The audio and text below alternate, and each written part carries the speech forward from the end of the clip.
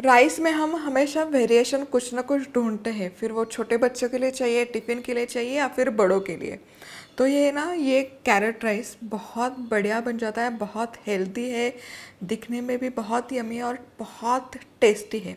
और good thing ना, ये फटाफट बनकर तैयार हो जाता है। तो वही तवा पुलाव, वेज पुलाव खाकर आप बोर हो गए। तो this is really best alternative for regular rice है एवरीवन मैं हूँ Madhura and welcome to Madhura's recipe चावल के बारे में सोचते तो हमेशा हम सर्च करते हैं कि कुछ तो इंस्टेंट फटाफट बनने वाली चावल की डिश जो हेल्दी हो, बच्चों के लिए, बड़ों के लिए वेट लॉस के लिए. तो आज हम ऐसे ही हेल्दी कैरेट राइस की डिश बना रहे हैं जो इंस्टेंट है फटाफट बनकर तैयार हो जाती है. और आप इसमें अगर आपको चाहिए तो लेफ़्ट और राइस भी यूज़ कर सकते हो. सो फ़र्स्ट थिंग फ़र्स्ट यहाँ पर पैन में मैंने दो चम्मच तेल गरम कर लिया है. इसमें डालेंगे काजू। और ये हमें फ्राई कर लेने जब तक इन्हें हल्का सा गोल्डन कलर नहीं आ जाता अब ये भुने हुए काजू हम निकाल कर साइड में रख देंगे। अब इसी तेल में हम डालेंगे आधा चम्मच जीरा। जीरा अच्छे से फूलना चाहिए। देखिए, इस तरह। खड़ा मसाला, खड़ा मसालों में मैंने लिया है साबुत काली मिर्च, लौंग और दो हरी इलायची। हरी मिर्च और अब इसमें डालेंगे बारीक कटा हुआ प्याज।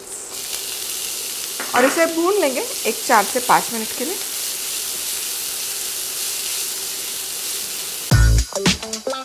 ऐसे ही मसालेदार और जायकेदार रेसिपीज़ के लिए मधुराज रेसिपी हिंदी यूट्यूब पर सब्सक्राइब कीजिए। उसी के साथ डेली अपडेट्स के लिए बेल आइकॉन भी क्लिक कीजिए। प्याज अच्छे से भून चुका है। अब इस स्टेज पर हम इसमें डालेंगे कद्दूकस किया हुआ गाजर। सो so, यहाँ पर मैं दो कप चावल यूज़ करी तो around one and half cup ये कद्दूकस किया हुआ गाजर है। ये कर लेंगे मिक्स और इसमें जाएँगे मसाले, गरम मसाला, आधा चम्मच, लाल मिर्च का पाउडर, आधा चम्मच, धनिया पाउडर, आधा चम्मच, और उसी के साथ ये कद्दूकस किया हुआ अदरक है। तो ये अब तीन से चार मिनट हम सॉटे कर लेंगे, फ्राई कर लेंगे, जब तक कि ये गाजर है ना, हल्का सा पक ना जाए, कुक ना हो जाए। चलिए यहाँ पर गाजर मैंने ऑलमोस्ट पाँच मिनट तक अच्छे से सॉटे कर लिया फ्राई कर लिया। अब डालेंगे थोड़ा सा नमक। मिक्स कर लेंगे। और अब इसमें जाएगा चावल, जो मैंने कुक कर लिया। और चावल कुक करते टाइम मैंने नमक डाला था।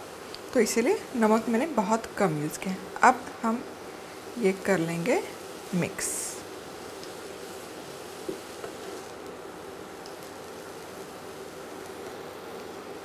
सूप अब देखिए कितना बढ़िया दिख रहा है। एकदम कलरफुल तो चलिए, ये मैंने अच्छे से पाँच से छः मिनट ऐसे भून लिया है, चावल और गाजर। और आप देखिए कितना बढ़िया दिख रहा है। कलरफुल एकदम।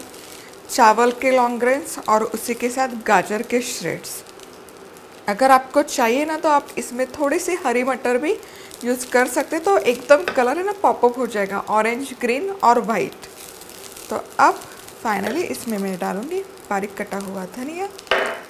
मिक्स और हमारा ये अब कैरेट राइस गाजर का चावल बनकर तैयार है। देखिए, बहुत बढ़िया दिख रहा है।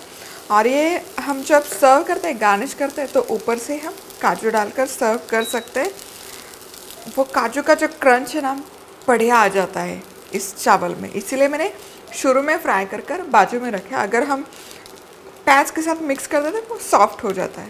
तो काजू सबसे लास्ट जब हम ये गार्निश करेंगे। रेसिपी अच्छी लगी तो यूट्यूब पर मधुराज रेसिपी ज़रूर सब्सक्राइब कीजिए। फिर मिलेंगे कुछ ऐसे ही मज़ेदार रेसिपी के साथ। तब तक के लिए बाय बाय